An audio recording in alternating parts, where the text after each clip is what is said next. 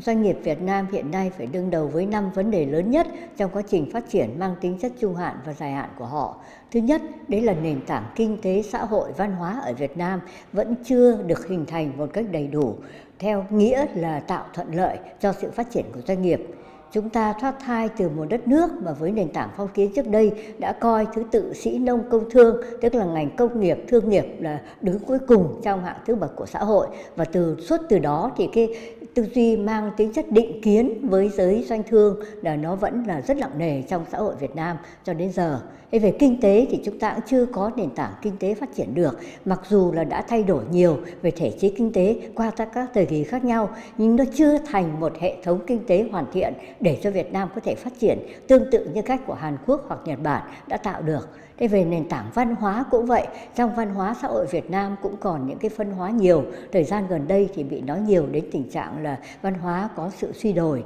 và những chuẩn mực về đạo đức giá trị xã hội bị đảo lộn rất mạnh và vì vậy nó cũng làm cho giới kinh doanh bị trao đảo. Thế tôi nghĩ là nền tảng kinh tế, văn hóa xã hội là nền tảng lớn mà các quốc gia nào cũng phải xây dựng nên một cách nó mang tính chất bền vững hơn thì doanh nghiệp ở nước họ cũng như các tầng lớp dân cư khác mới phát triển được. Thứ hai, vấn đề ở Việt Nam là thể chế. Việt Nam đã chuyển đổi sang kinh tế theo hướng thị trường từ lâu nhưng mà sự chuyển đổi đó nó vẫn chưa hoàn tất, chưa đầy đủ. Hành thể chế kinh tế Việt Nam hiện nay nó vẫn còn nửa nhà nước, nửa thị trường. Cái nửa nhà nước vẫn rất nặng ở chỗ là nhà nước là người đưa ra tất cả những luật lệ, chính sách, các quy định cho hoạt động kinh doanh mà trong đó có nhiều cái chưa thật thuận lợi cho doanh nghiệp, thậm chí có nhiều cái còn tạo khó khăn cho doanh nghiệp nhiều hơn ngoài hệ thống thể chế chính thức thì còn có những cái công cụ khác, ví dụ như quy hoạch, kế hoạch. Trong đó nó mang màu sắc của cái hệ thống kinh tế cũ nhiều hơn là hệ thống quy hoạch theo kiểu mới. Và từ đó nó làm cho cái quy hoạch, kế hoạch đó nhiều khi nó đè nặng lên,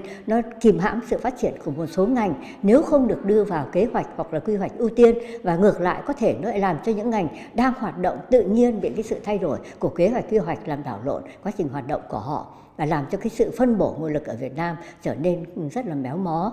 Cũng với hệ thống thể chế kinh tế của Việt Nam hiện nay thì làm cho cái chế độ sở hữu ở Việt Nam không đảm bảo được cái sở hữu về quyền tài sản của người dân, của doanh nghiệp. Cho nên là ngoài phần mà nhà nước nắm quyền sở hữu toàn dân thì cái phần sở hữu của doanh nghiệp, của tư nhân mặc dù đã được hiến pháp đảm bảo nhưng trên thực tế cũng vẫn có thể bị xâm phạm các quyền sở hữu đó và do đó cho nên nó làm giảm đi động lực của các doanh nghiệp trong việc tích tụ tài sản để phát triển lên. Cái vấn đề thứ ba của Việt Nam là về thể chế thị trường chưa phát triển được thị trường Việt Nam cho đến nay cũng vẫn là một hệ thống thị trường mang tính chất sơ khai, phần nào nó thậm chí còn hoang dã, nhất là về những cái công cụ cạnh tranh. Bởi vì cạnh tranh một cách vô lối không được kiểm soát mặc dù có luật cạnh tranh đấy thì nó làm cho thị trường trở nên hỗn loạn và những người làm ăn chân chính nhiều khi lại bị oan. Còn những kẻ làm gian lận lại vẫn có cơ để mà có thể hoành hành tiếp được hoặc là kể cả những sự gian lận từ bên ngoài vào hoặc là sự gian lận của các tầng lớp khác nhau nó cũng ảnh hưởng đến việc kinh doanh của doanh nghiệp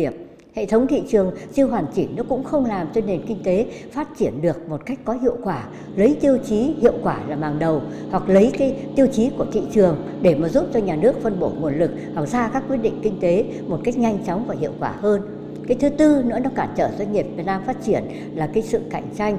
trong quá trình hội nhập kinh tế quốc tế ảnh hưởng từ bên ngoài vào kinh tế Việt Nam bây giờ rất mạnh, khi Việt Nam là trở thành một nền kinh tế rất mở. Nhưng trong cái mở cửa rất mạnh cho các nhà đầu tư bên ngoài, cho các nước khác và làm ăn ở Việt Nam, thì cái mở tương ứng, cái tự do hóa tương ứng cho doanh nghiệp Việt Nam thì lại bị hạn chế rất đáng kể. Thành ra, lực lượng đầu tư nước ngoài vào Việt Nam thì bên cạnh là một phần có thể là trở thành đối tác cho Việt Nam thì lại trở thành lực lượng cạnh tranh mạnh họ được ưu tiên nhiều hơn so với doanh nghiệp trong nước và vì vậy làm doanh nghiệp trong nước là không những bị cạnh tranh bởi doanh nghiệp nhà nước là được ưu tiên nhất. Để thứ hai nữa là đến đầu tư nước ngoài, thì đến lượt doanh nghiệp trong nước của Việt Nam không còn được bao nhiêu về nguồn lực cũng như các chính sách hỗ trợ cho họ để phát triển. Và thậm chí nhiều khi lại còn bị trói chân trói tay so với nước ngoài. Cách đó làm cho doanh nghiệp Việt Nam không phát triển được, không tận dụng được tốt các cơ hội của hội nhập. Mà hầu hết các cơ hội của hội nhập nó rơi vào tay các nhà đầu tư nước ngoài nhiều hơn. Thể hiện rất rõ ví dụ con số xuất khẩu của Việt Nam hiện nay là tới 70% là của đầu tư nước ngoài làm xuất khẩu. Mặc dù Việt Nam đã mở cửa cho các thị trường nước ngoài rất nhiều rồi, nhưng mà như vậy cái thị phần của doanh nghiệp Việt Nam trong xuất khẩu nó cứ bị giảm đi dần trong quá trình hội nhập. Thế đấy là điểm thứ tư. Còn điểm thứ năm là những cái yếu kém của bản thân các doanh nghiệp qua một quá trình hơn 30 năm đổi mới thì doanh nghiệp mới dần dần được mở cửa, được cởi trói để phát triển lên. Nhưng mà đây cũng là một quá trình diễn ra chậm chạp và mất rất nhiều thời gian công sức. Phải vươn trải từ đầu đối với những người hai bàn tay trắng không có gì kể cả nền tảng về giáo dục đào tạo hay về kinh nghiệm kinh doanh trên thị trường không có gì là một việc thực sự khó khăn. Chưa kể là nguồn lực không có rồi, chưa gì đã chịu những sức ép cạnh tranh nặng nề. Thì tôi nghĩ tất cả điều đó nó đang làm khó cho các doanh nghiệp Việt Nam